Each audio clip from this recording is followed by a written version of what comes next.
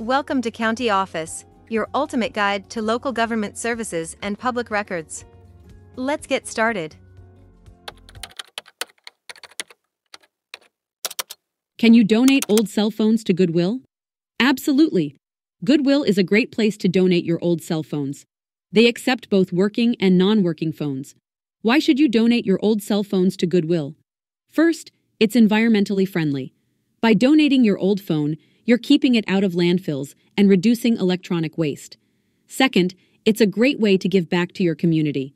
Goodwill uses the funds generated from selling donated items to support job training programs and employment opportunities for those in need. But before you donate, there are a few things to keep in mind. Make sure to remove all personal data from your phone. Resetting it to factory settings is the best way to ensure your information is completely wiped. If your phone is broken or not working, Goodwill can still use it for recycling.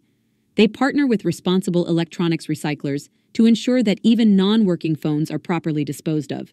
So, go ahead and clean out that drawer of old phones. Donate them to Goodwill and make a positive impact on both the environment and your community.